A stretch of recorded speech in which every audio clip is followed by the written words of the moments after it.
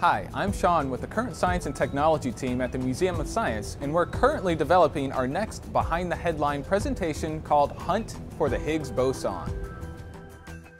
How do you study something you can't directly observe?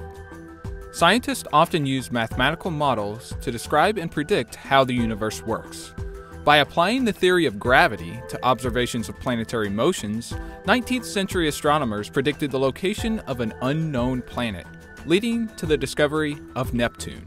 Since then, physicists have described three other fundamental forces that govern the universe and attempted to combine their theories into the Standard Model. But an unanswered question remains how do particles governed by these forces attain mass? Physicist Peter Higgs proposed that a ubiquitous field conveyed by a particle called the Higgs boson interacts with matter to give it mass. His mathematical model gave scientists an idea of where and how to look for this important particle. In July, based on a series of experiments colliding particles at the highest energies yet achieved, scientists announced they'd found evidence of the Higgs boson.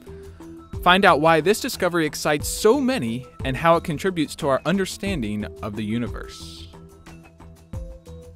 Join us any day in the month of September at 2.30 in the Gordon Current Science and Technology Center for our new Behind the Headline presentation called Hunt for the Higgs Boson.